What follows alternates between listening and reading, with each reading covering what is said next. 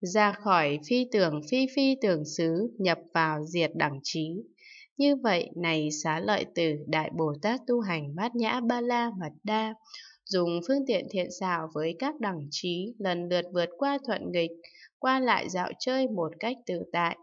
Lại nữa, này xá lợi tử, có Đại Bồ Tát, mặc dù đã đạt được bốn niệm trụ, bốn chánh đoạn, bốn thần túc, năm căn, năm lực, bảy chi đẳng giác, tám chi thánh đạo, cũng đã tu mười lực Phật, bốn điều không sợ, bốn sự hiểu biết thông suốt, mười tám pháp Phật bất cộng, nhưng không đắc quả dự lưu hoặc quả nhất lai hoặc quả bất hoàn hoặc quả a la hán hoặc độc giác bồ đề hoặc quả vị vô thượng chánh đẳng bồ đề của chư Phật.